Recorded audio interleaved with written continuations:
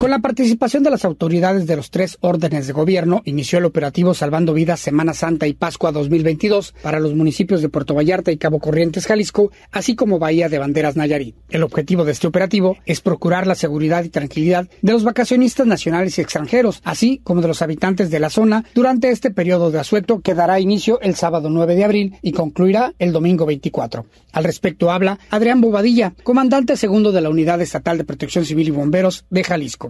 Sabemos que las expectativas que esperamos en esta temporada de Semana Santa son muy altas.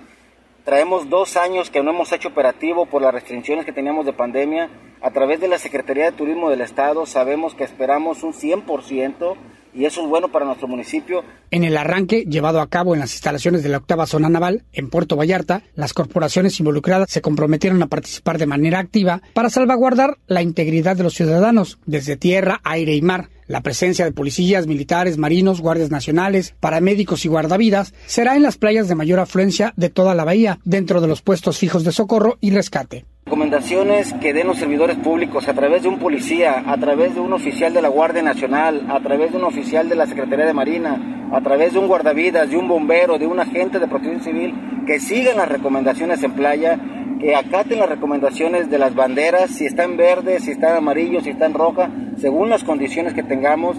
Estaremos muy al pendiente también en las condiciones meteorológicas. Durante el operativo se tendrá el apoyo de la Estación Naval de Búsqueda, Rescate y Vigilancia Marina, así como de un helicóptero, además de lanchas, ambulancias, patrullas, motos acuáticas, entre otros vehículos y herramientas, todo para el disfrute de los vacacionistas. Desde Radio UDG en Puerto Vallarta para Canal 44, Javier Frías.